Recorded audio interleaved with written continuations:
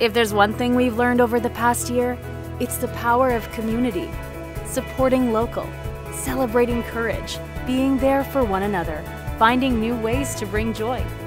Community is an unbreakable bond. Brighter days are ahead, and soon we look forward to celebrating that bond together, sharing our talents, trying something new, indulging, and yeah, letting loose. That day will come, and when it does, we'd love for you to be a part of it.